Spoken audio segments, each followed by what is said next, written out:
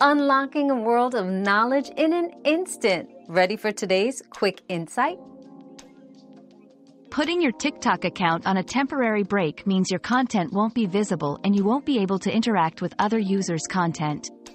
However, your profile remains intact, and all your videos and personal information are preserved.